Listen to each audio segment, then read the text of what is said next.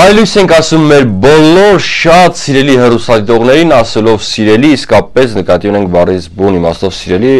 իսկապես մենք սիրում ենք ձեզ եւ հույս ունենք, որ դա ինչ որ չափով կարող է փոխադարձ լինել եւ մաղթում ենք ձեզ հրաշալի օր, արժևում ունենք հրաշալի եթերաժամ, որտեղ շատ տարիքի բաներից պետք է խոսենք, այո Անահիտ։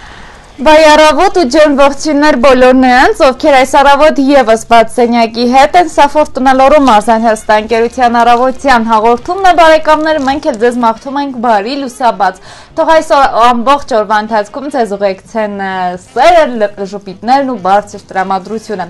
Եվ սիրելի բարեկամներ, հիշեցնեմ նաև, որ մեր բոլոր հաղորդումներն, այդ թվում նաև բացենյակը կարող եք դիտել YouTube-ի մեր դիտում Fortuna Mac TV, ինչպես նաև 3w.fortuna.tv.am սայլ մեր on-line հարթակն է բոլոր հարթակներից, բոլոր ռեժիմներով, այսպես ասած, կարող եք հետևել մեր բոլոր հաղորդումներին։ Իսկ մենք այսօրվա ընթացքում երկու թեմայի մասին պետք է խոսենք։ Ծրագրի առաջին հատվածում խոսելու ենք բակային հին ու ավանդական խաղերի մասին։ Հրաշալի խաղերի։ Այո, որտեղ մեր եւ նաեւ մեզնից ավակների ժամանակաշրջանում ներողություն ավելի շատ են երեխաները խաղում եւ իսկապես բակային խաղերն անմասն չէր մեր կյանքից։ Հատասետը իհարկե դրանք փոխվում են ժամանակները, բայց այսօր էլ կան իհարկե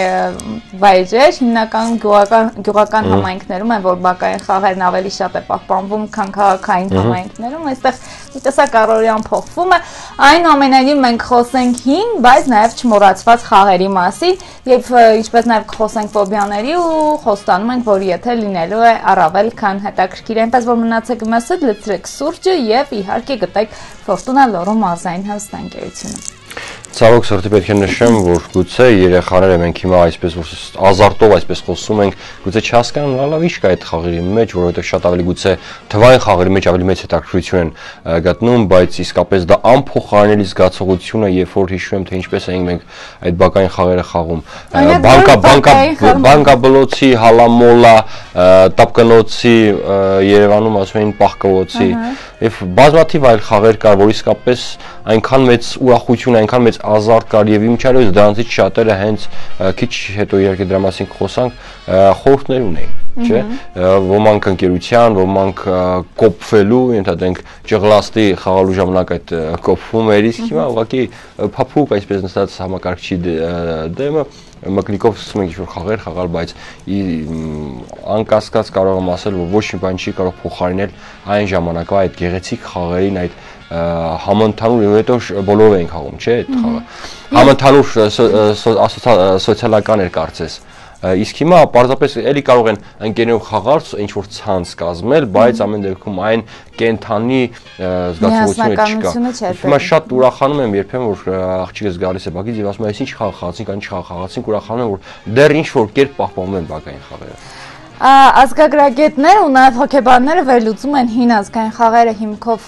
հիմքում դնելու այն կարևոր փաստը, որ հային, հայ երեխային դեռ հենց այդ տարիքից սովորում էր փոքրիկը լինել միասնական, լինել թիմային։ Այսօր որքանով էլ որ թիմային խաղեր կան արդեն համակարգիչների տարբերակով, էլեկտրոնային տարբերակով, շատ այլ միջոցներով գուցե նաև այն հոգեբանությունը չի վերում, ինչը որ տալիս էր հենց բակում ընկերանալու, համախմբվելու, կողք կողքի հաղթանակ տանելու ցանկությունը։ Հետ այսպիսի վերլուծություններ, բայց շատ հին հայկական ավանդական ազգագրական խաղերի հիմքում նաև ընկած էին ինչպես գործընկերս նշեց պատմություններ։ Նույն 7 քարը եկել է շատ ավելի հետաքրքիր մի պատմությունից, որի մասին գուցե լսած էլ չլինեք։ Մենք խոսենք այդ ամենի մասին, բայց հրաշտական կատարումը լսելուց անմիջապես հետո հերում մի գնացեք ու ու բարի լույս, եթե նոր միացաք մեզ։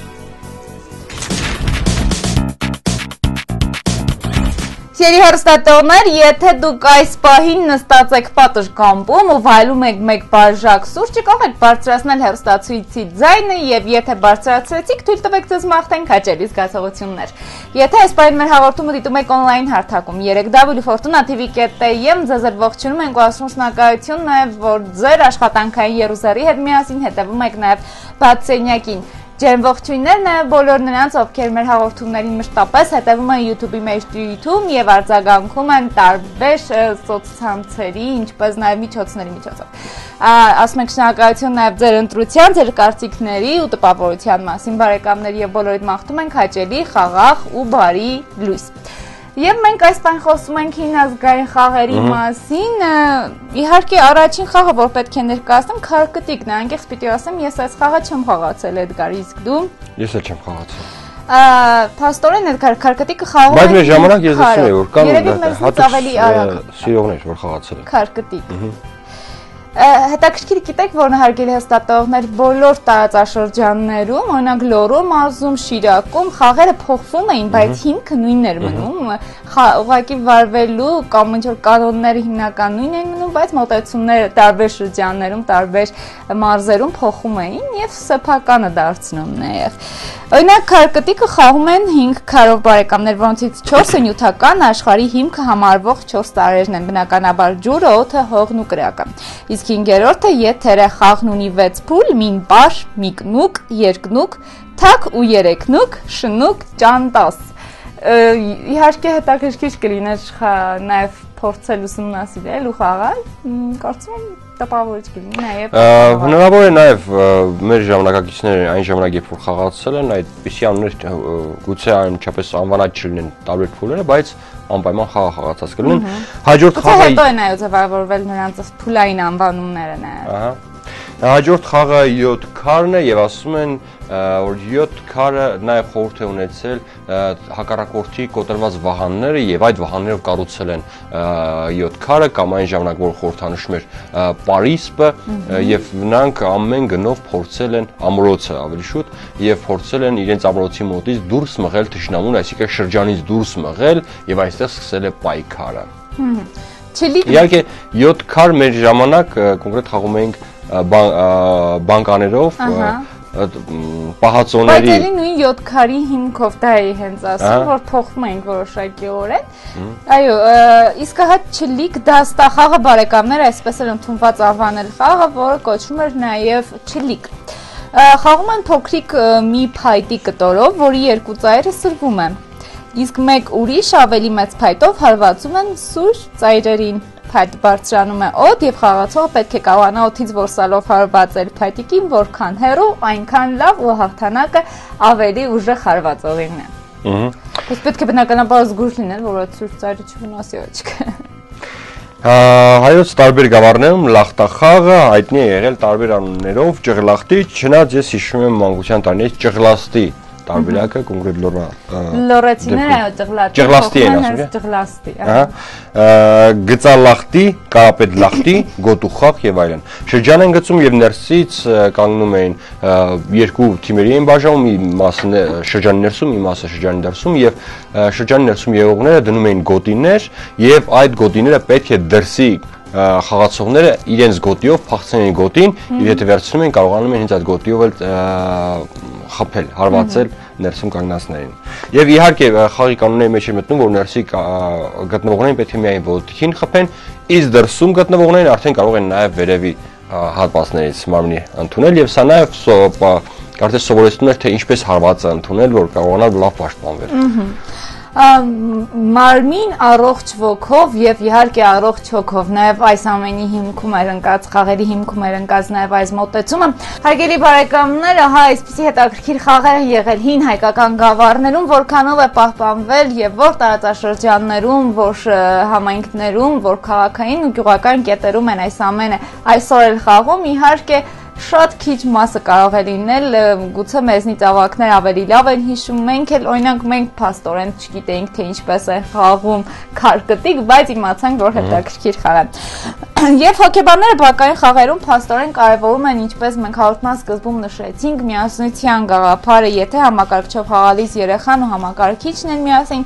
ապա բակում զուտ կենթանի շփումը փոքրիկների ու նաև փոքրիկների կայուն հոգեբանության, որովհետև համակարգիչը որքանով էլ որ թիմային խաղի էֆեկտ կարող է տալ, նաև առողջ հոգեբանություն ապահովել չի կարող, ասում են հոգեբանները։ Միևնույն ժամանակ համակարգչային խաղերը, որոնք ավելի թվայինացված են եւ որոնք ավելի տեղեկատվական տեխնոլոգիաներին մոտ են ու նորովի մոտեցումներ են առաջարկում, կարող են զարգացնել տրամաբանությունը փոքրիկի եւ ձգտել լուծել ավելի բարդ խնդիրներ, քան օրինակ բակում կարելի է լուծել հենց նույն քարկտիկը կամ պահկվոցին խաղալիս։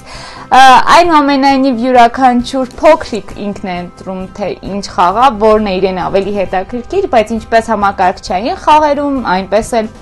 բակային սովորական խաղերում ընկած է փոքրիկի տրամաբանությունը զարգացնելու ամենակարևոր հատկանիշը։ Ինչպես մանկաբույժներն են ասում, թույլ տվեք երեխան ընտրի այն, ինչը նրան հետաքրքիր է, որովհետև դա նրա զարգացման մասին կարող է խոսել։ Իսկապես դա այդպես է, որովհետև փոքրիկները դեռ 1-2 տարեկանում ավելի այլ խաղերի են ընկալում եւ ավելի փոքր հասակից էլ արդեն սկսում են գույները որսալ։ Հետագայում խոսում է նաեւ նրանց ճկունության, ավելի զարգացվածության մասին։ Եթե օրինակ 20 տարեկան երիտասարդը փորձում է խաղալ պահկվոցի, դրա մեջ զամանալու ոչինչ չկա, գուցե նա մանկության քաղցն է առնում։ Հենց այսպեսի տեսակետներ են մշակում մասնակետները, իսկ մենք առանձնացնում ենք այն, որ դրանք իսկապես եւ համակարգչային խաղերի մասն է խոսքը գնում եւ բակային դրանք չափի մեջ լինելով կարող են զարգացնել զուտ երեխայի տրամաբանությունը եւ կրթվածության մակարդակը արագ կողնորոշվելու հարցում։ Արդեն կան փաստեր եւ հետազոտությունները արդեն ցույց են տալիս, որ ներկայիս երիտասարդության երևակայությունը զիջում է այն ժամանակվա երեխաների երևակայությանը, որովհետեւ այն ժամանակ, երբ որ չկային այսպիսի խաղերը, մարդիկ մտածում են, երեխաները մտածում են ինչպես խաղալ, ինչպես անել։ Իսկ հիմա պարզապես ամեն ինչ ծանված տալիս է, դրում է մեր բերանը եւ կարող ես կարդալ ուղակի խաղի այսպես դու գտեսնում թե ինչ պետք է սպասվի ու վերջ։ Եվ երբ տեղին է հիշել Շիրազյանի խոսքը, որ մենք ապրում էինք անգիտության բախտավոր։ Իհարկե սա չի նշանակում, որ այն ժամանակ ավելի անգետ էին, պարզապես ապրում էին անհոգ, շատ ավելի անհոգ եւ ոչ մի նման ժամանակակից խնդիրների հետ չէին բախվում։ Այնուամենայնիվ կարևոր նաև պահպանել ոչ միայն մեր ազգային սովորույթները, տոները, չգիտեմ, ծեսերը, նաև հենց ազգային խաղերը։ Օրինակ ես հաճույքով դիտում եմ եւ հետևում եմ իհարկե կոնկրետ Լոռու մազում երիտասարդական հիմնադրամը հենց ազգային խաղերի նվիրված ամենամյա ծրագիր ունի ու յուբոքեվորությունը եւ երիտասարդների շրջանում հիմա քանի որ ասում են ավելի շատ համակարգիչ, համակարգիչ, այդպես այդտեղ էլ են երիտասարդները ողջավորված խաղում եւ ավելի համախմբված պահպանելով հենց ազգային։ Ուղղակի փոքրիկ անցում հիշեցի։ Այգելի բարեկամներ, այս բան առաջարկում ենք Վարսահարդարում, իսկ դուք հեռու չեք գնում, որովհետեւ հետաքրքիրն արժևում եմ։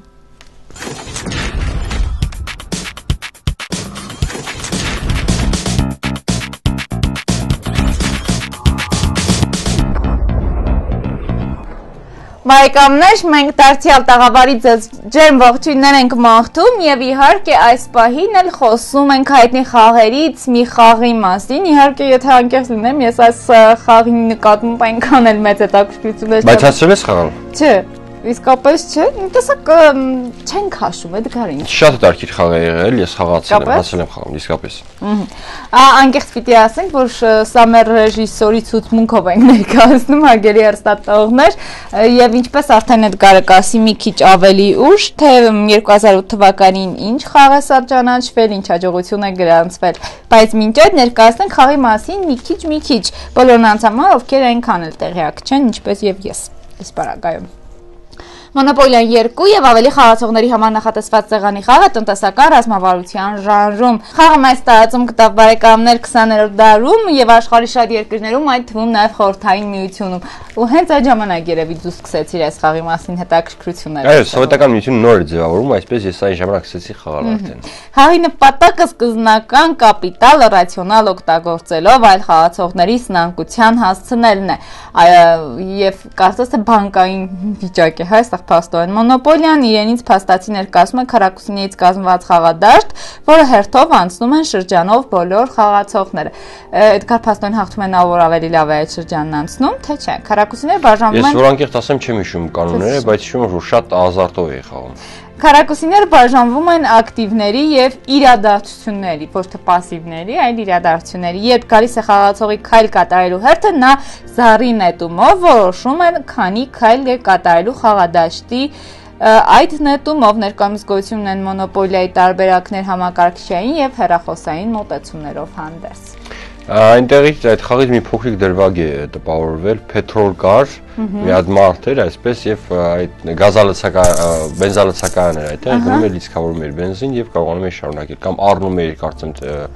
բենզալացականը։ Ամեն դեպքում հիշում այդ պետրոլ կոչեցյալը։ Թե չես լինում բացենյակում բենզին ես վաճառում։ Այո, այո։ Անահիտ անչափես ենթադրեց ինչ կարելի է անել, եթե բացի միակում չի չես լինում։ Նախ ներկայացնեմ խաղի պատմությունը, կարծում եմ շատ հետաքրքիր է 1934 թվականին մեծ ճգնաժամի թեժ պահին Փենսիլվանիա նահանգի Գերմանթաունա քաղաքից Չարլզ Դերոուն Parker Brothers կազմակերպության ներկայացուցիչներին ցույց տվեցին մի խաղ մոնոպոլիա խաղի նախագիծը։ Նախագիծը մերժվեց դիզայնում 52 սխալի պատճառով, բայց ամեն դեպքում խաղի Այո։ Չարլզը չկանգնեց դրա առաջ, այդ խնդրի առաջ եւ նա կարողացավ շարունակել եւ ինքը որոշեց նախաձեռնել եւ ավարտին հասել իր նախագիծը եւ նա 500 օրինակ միանգամից պատրաստեց եւ վաճառեց խանութներին եւ խաղը ամչապես մեծ արձագանք գտավ եւ նա անգամ արդեն չէր հասցնում պատրաստել խաղը եւ նա նորից արդեն 1935 թվականին դիմեց նույն Parker Brothers-ին եւ նա այդ ընկերության շնորհիվ կարողացավ շատ արտադրել եւ դարձավ Ամերիկայի Միացյալ Նահանգներում ամենավաճառվող խաղը։ Ներկայումս մոնոպոլիա խաղացողների թիվը անցել է 1 միլիարդ։ Բայց ամերիկացիները ավելի շատ խաղացողների ցանկում են այս պարագայում կարող են կենթանալ։ Այո։ Ավելի շատ նրանք են խաղում խաղով այսօր։ Բայց ամեն դեպքում Ամերիկայի Միացյալ Նահանգները, եթե չեմ սխալվում, 350 միլիոն բնակիչ ունի, քիչ կարող գուցե ավել, բայց 1 միլիարդից անցել է խաղը խաղացողների թիվը աշխարհում եւ շատ իսկապես հայտնի է աշխարհում փաստորեն նաև անցկացվում են մոնոպոլիա խաղի մրցույթներ, այդ թվում նաև առաջնություններ մրցանակային ֆոնդերով։ Ահա Հարգելի բարեկամներ, կանոնները փաստորեն այսպիսին են. ակտիվով կանգնելով դաշտի վրա խաղացողը կարող է բերել այն, եթե այն ազատ է, իսկ եթե այն պատկանում է այլ խաղացողի, պետք է դրա համար վճարի տվյալ դաշտ այցելության եւ խաղի մուտք գործելու համար։ Իրադարձություններով դաշտի այցելության դեպքում խաղացողը ցույցում է տալիս հետևել իրեն ընկած իրադարձությունը, օրինակ ստանալ լրացուցիչ միջոցներ բանկից, որը համագործակցում է խաղացողների հետ խաղում տեղի ունեցող իրադարձությունների միջոցով, իր միջոցների մի մասն էլ տալ բանկին, շարժվել առաջ եւ այսպիսով նաև հնամտություն է, հա, կարծես թե բանկը խաղ սովորեցնում խաղացողին եւ գտնելու նաև լրացուցիչ քայլեր հաղթելու համար եւ այնքան է այս խաղը դարձել հանրահայտ, որ 2008 թվականին Hasbro խաղալիքների արտադրող ընկերությունը, որին իրավունքը պատկանում է հենց նրան, որ կարող է այդ խաղը տարածել, Universal Pictures կինոստուդիայի հետ համատեղ ստորագրել են համաձայնագիր եւ որպեսի նկարվի ֆիլմ եւ ֆիլմը նկարվել է Monopoly անունով եւ ֆիլմի ռեժիսորը ընտրվել Ridley Scott-ը։ Ահա Սա էլ այն մասին, որ մոնոպոլիա խաղը աշխարհում ու ինչպես արդեն հասկացանք ամերիկացիների շրջանում ամենամեծ պահանջարկ ունեցող խաղն է հարգելի հաստատողներ, իսկ այս պահին տեսանյութ են առաջարկում մնացեք մեզ հետ։ Monsieur 300 grand. Bet. 300. Please. We will now break for 1 hour. When we return, the big blind will be 200,000. Սիրելի ռուսադիտողներ, անցնում ենք մեր հաջորդ բաժնին, հաջորդը մի քիչ կապված է ֆոբիաների հետ, իհարկե մի քիչ անցած թեմաների հետ կապ չունի, բայց ես փորձեմ այսպես կցել։ Հիշում ես Բայց օրինակ ես վախենում եմ այդ կար նստուկի դաղուկի խաղալուց։ Այո, ես ուզում եի կապել տապկնոցի հալամոլայի հետ, չէ, շատ ժամանակ դե գիշերով են այդ խաղը խաղում հիմնականում։ Հալամոլան հատկապես, չէ, ավելի շատ։ Այո, եւ շատ գուցե վախենալու իրավիճակների մեջ էր հայտնում եւ ինձ շատ էր դուր գալի հատկապես այսպեսի կատակ են կանում կամ կարող է հակառակ թիմաներ,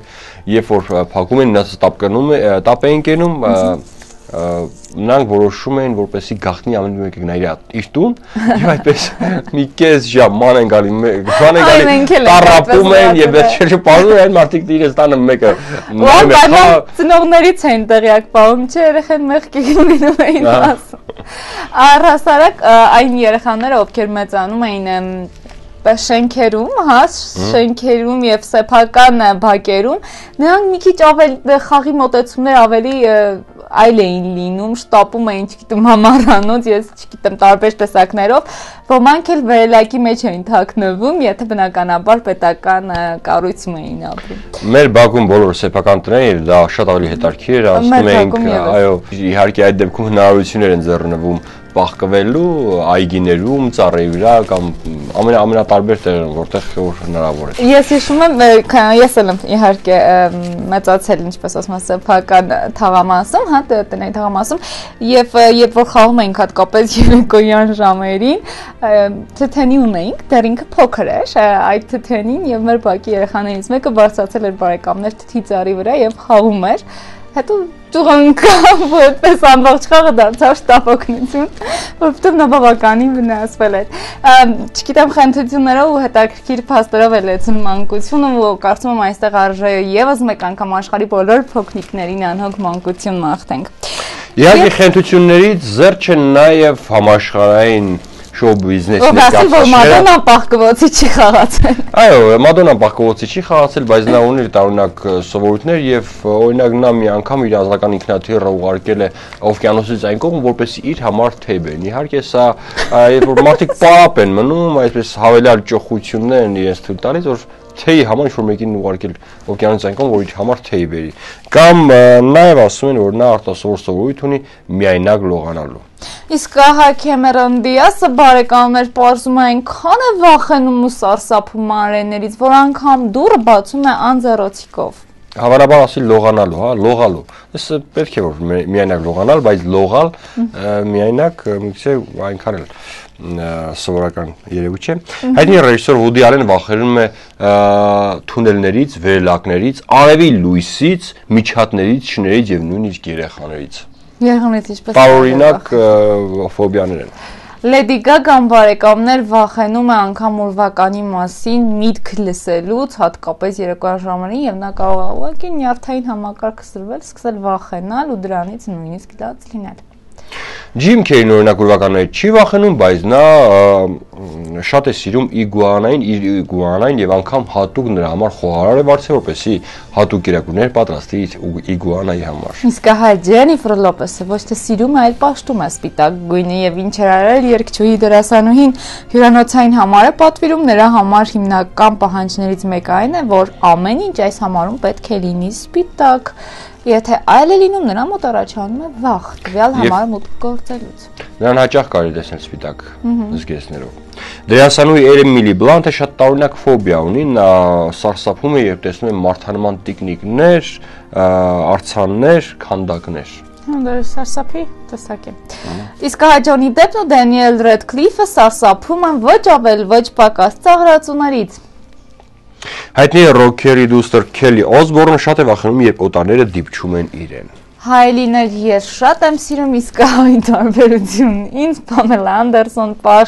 վախենում է սարսափում է հայլիներից եւ շատ մարդիկ գիտեմ իսկապես նաեւ մեր շրջապատում որ վախենում են հայլիներից եւ փորձում են խուսափել ասենք փորձում են ստվերային տարբերակներով իրենց տեսնել իրենց այդ ամեն ինչ նորմալ է եւ միայն խիստ անհրաժեշտության դեպքում վախը զսպելով նայել հայելու մեջ թեկուս տեսնեն իրենց այդ ամեն ինչ կարքին է թե ոչ ինչպես ասում են այս դեպքում եթե նրանք հայել նայելուն են նայում, նրանց հետ ոչ թե ամեն ինչ կարքին է դառնում, այլ ամեն ինչ անկարգ է դառնում վախի շնորհիվ։ Ահա այսպիսի տարաբնույթ ֆոբիաներ, վախեր ունեն հայտնի մարդիկ, իսկ դուք մնացեք մեզ հետ, մենք դեռ կշարունակենք խոսել այս մասին։ Մենք երաշտական ընդմիջման ընթացքում զրուցում էինք եւ փորձում էինք մեր գործընկերների շարքում հասկանալ, թե ով ինչ ֆոբիա ունի, ով ինչից ավելի շատ վախենում եւ Էդգարին չհարցրեցի հարցնեմ, Էդգար, եթե ում քեզ հարցնում ինչից ես ավելի շատ վախենում։ Բացարձակապես ոչինչ։ Ոչինչից։ Ոչինչ։ Նույնիսկ կոցերից, երկրաշարժերից, աղետներից, ոչինչ։ Չէ, դե նման բաներից կարծում յուրաքանչյուր մարդ վախենում, բայց չեմ կարծում, դա ֆոբիաների շարքին է մտնում օծ որ տեսնում ես հատուկ դե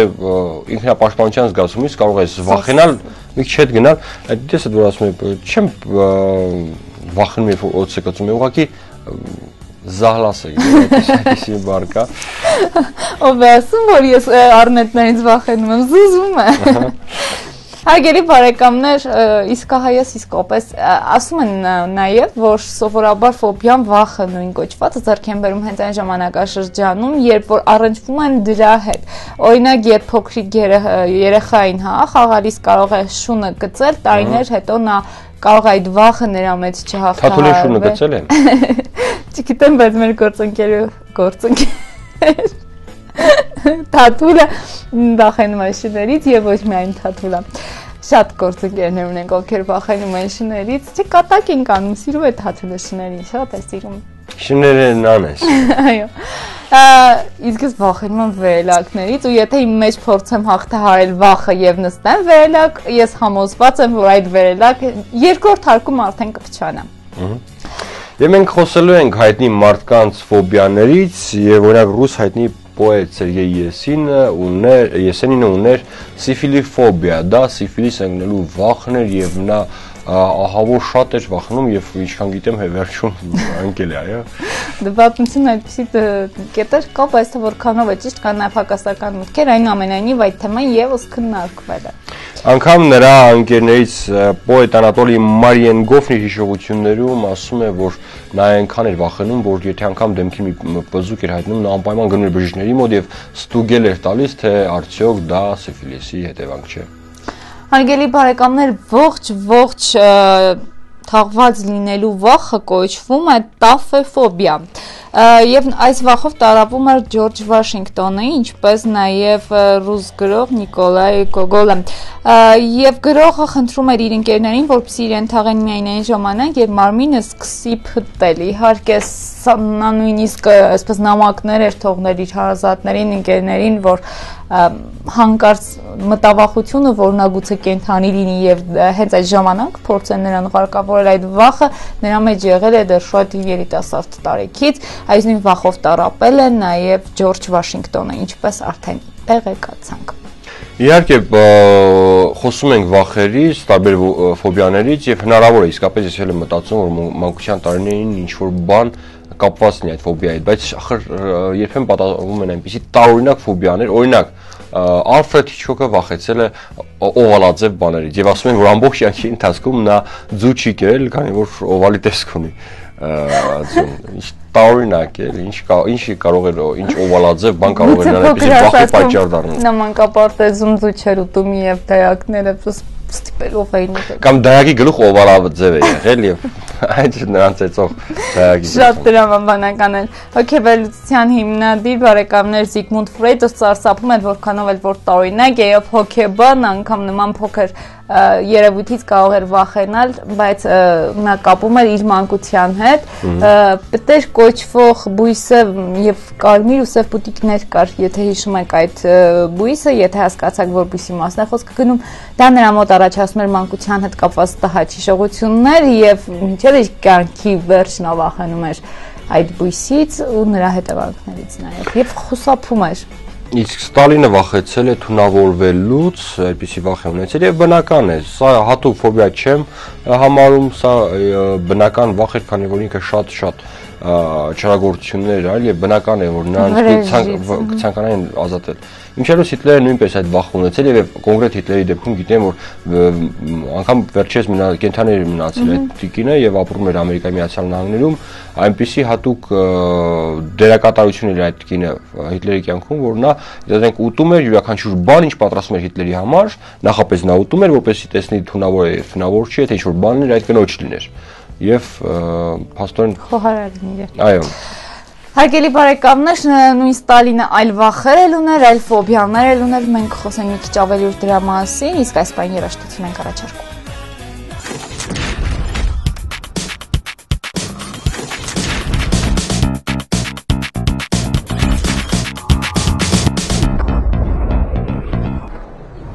Սիրելի հրստատեղներ, բարելույս, եթե հենց նոր միացակ մեզ, սա Ֆորտունա մարզային հրստանկերությունն է եւ այստեղ բաց սենյակն է եւ ձեզ համար սիրով աշխատում են Էդգար Նոնեիտը, բարեկամներ, մենք խոսում ենք վախերի եւ այս պարագայում արդեն ամենաշատ ծիծաղ առաջացնող վախերի մասին Էդգարը ես հասկացա, որ քեզ մոտ շատ ծիծաղ առաջացրեց օվալաձև առարկանայի նկատմամբ ունեցող ունեցած վախը, այնուամենայնիվ դա այն փոքր վախերի ցանկում չէ, որը կարող է ծիծաղ առաջացնել։ Էլի շատ վախեր կան, որոնք մեկի մոտ ծիծաղ են առաջացնում, մյուսի մոտ սարսափ։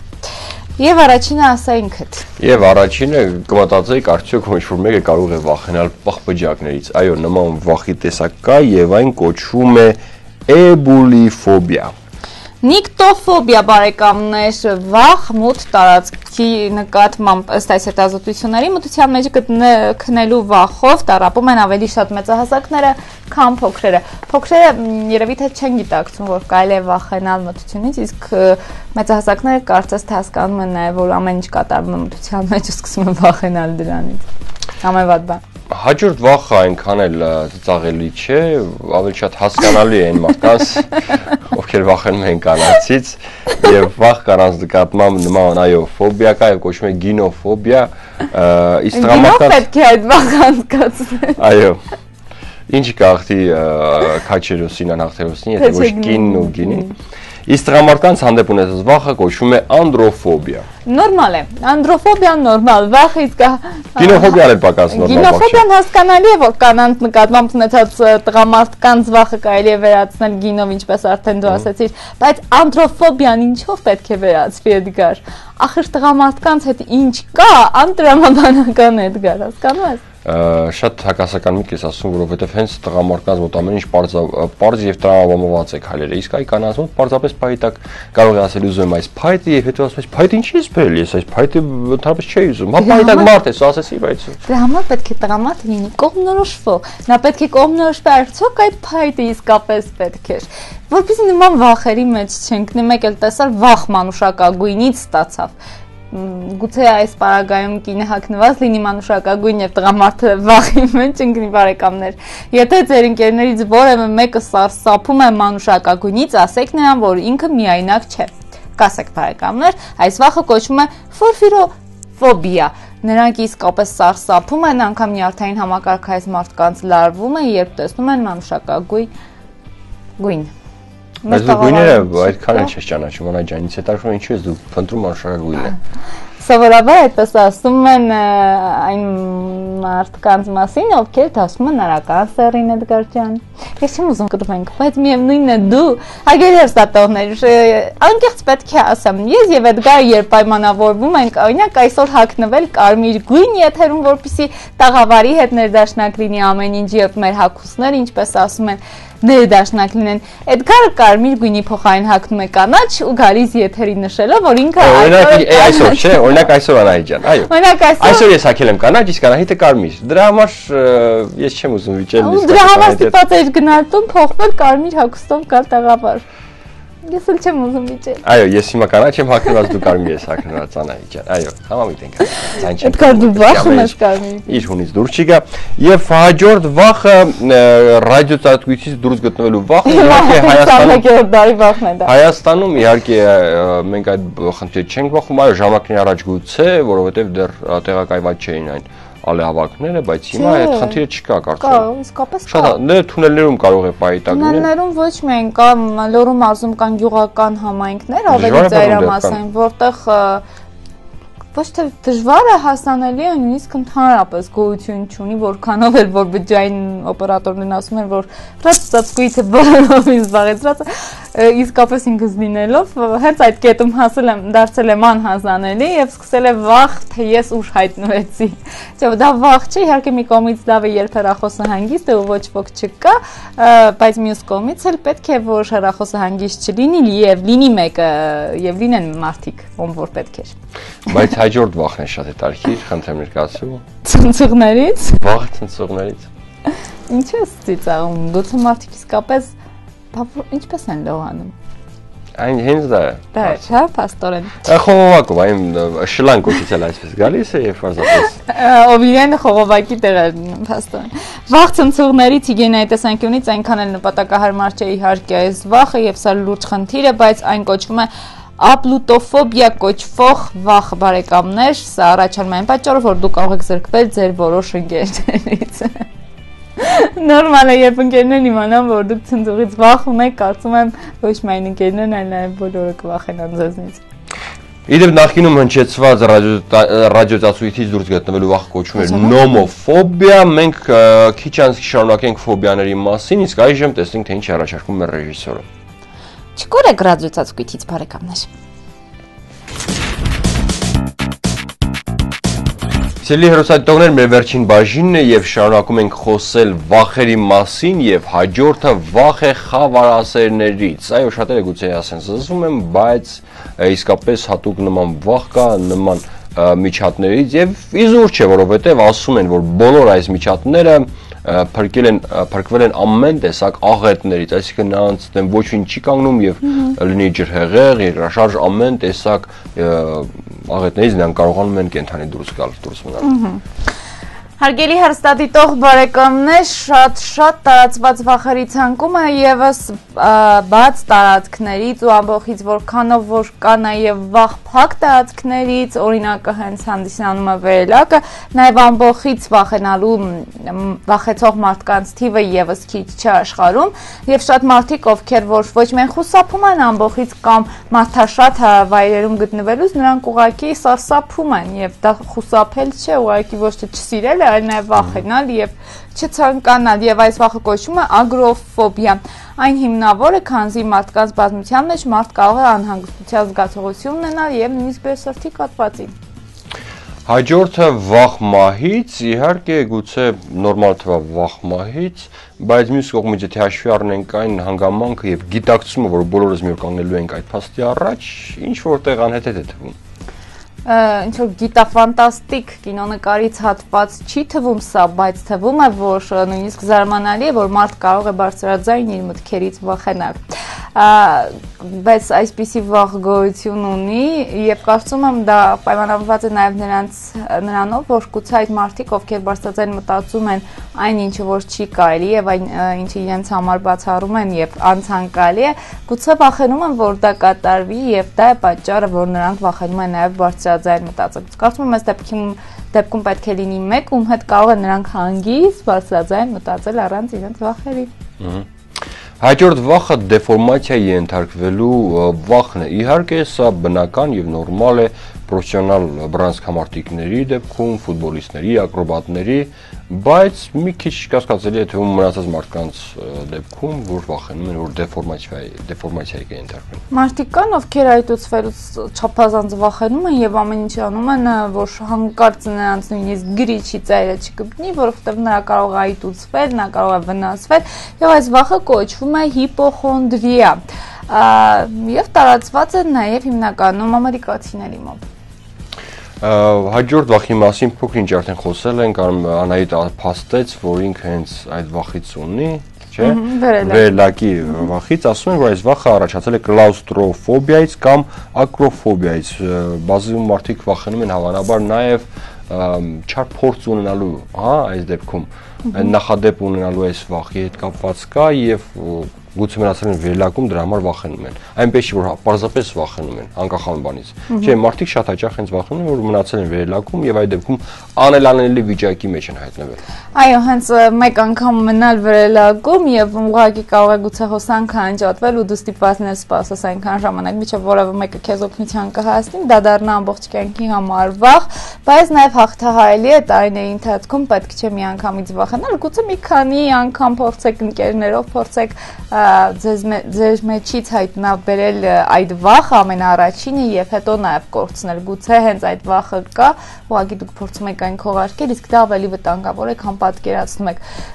Որքանով էլ որ թիթեռներն իրենցից վտանգները այնուամենայնիվ չեն կարող ներկայացնել, եթե դա այսպես թրուցիկ թվում են, բայց սարդերը կարող են սարդերից շատ-շատ վախեցող մարդկանց թվին չի զիջում նաև թիթեռներից վախեցողների թիվը։ Իհարկե մարդիկ աշխարհում ովքեր սարդերից են վախենում, նրանք ավելի շատ են, քան թիթեռներից։ Այնուամենայնիվ սարդերից եւ թիթեռներից վախեցող մարդկանց անվանում են արակնոֆոբիայի հետևորդներ, նրանք վախենում են սարսափում են այն տարածքներում գտնվել, որտեղ կան թիթեռներ ու սարդեր ինչպես գիտենք, վախը կարող է եւս սրտի նոպաների, սրտի կաթվածի պատճառ դառնալ, իսկ սարդերը հենց առաջին հարվածն են կապված նրանց բջջանյութի հետ, ասես կարող եք նաեւ ասել։ Ահա այսպիսի տարօրինակ հետաքրքիր զարմանալի ու վախենալու վախեր նաև գոյություն ունեն աշխարհում։ Մի վախեցեք եւ եղեք ուժեղ։ Մեզ ահավել էլ ուղակի։ Այո, մաղթում ենք իսկապես անվաղ կյանք եւ շատ հաճախ իմացեք, որ շատ վախեր իրականում հիմք չունեն եւ շատ բաներ իսկապես մեր կեղծ պատկերացումների արդյունքն է շատ բաներ իրականում կյանքում չեն համապատասխանում այլ իրականության եւ մեր այսպես կառուցած պատկերացումներն են տվյալ երևույթի մասին այդ դեպքում կառուցենք պոզիտիվ գեղեցիկ պատկերացումներ եւ հավատանք ամեն ինչ շատ ավելի լավ կլինի քան որ է Հիշեք, որ բաց սենյակը ձեզ հետ է հոգով, սրտով եւ ամառային տրամադրությամբ եւ ամեն առավոտը ձեզ համար ամռան ընթացքում թող բացվի պայծառ, լույսով, սիրով ու կարոտով լցված։ Կհանդիպենք եթերում։ Հաջողություն։ Աշուշտ, հաջողություն։